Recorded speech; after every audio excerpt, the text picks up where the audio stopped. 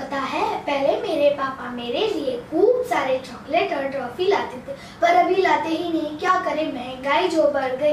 पहले मेरी मम्मी आलू, टमाटर और सेब लाती थी, पर अब थैली खोल के देखो तो इतना सा ही क्या करें, महँगाई जो बढ़ गई। पहले मेरे पास बहुत सारी चीज़ थी, पर अब देखो, दस दिन से हूँ। क्या करे महँगाई जो बढ़ गई? अरे सत्यानाश हो इस सरकार का। खुद तो नेता लोग ऐसी गाड़ी में घूमते, ऐसी बंगलों में रहते और हम लोग महँगाई से मर रहे हैं।